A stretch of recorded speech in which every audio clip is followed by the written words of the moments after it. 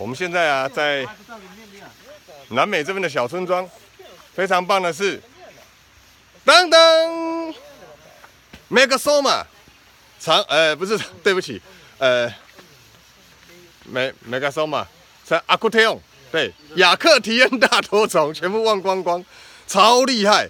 这个村庄啊，我们原本以为说只是一个呃毫不起眼的小村庄，然后呃森林也破坏差不多，种很多果树。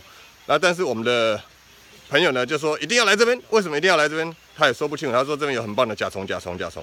然后我们点了一晚的灯，森林钻了一整个晚上都没发现它，最后它还是出现了，超厉害！出现的这个故事呢非常厉害，那个有机会再写。这个现在故意不讲，为什么？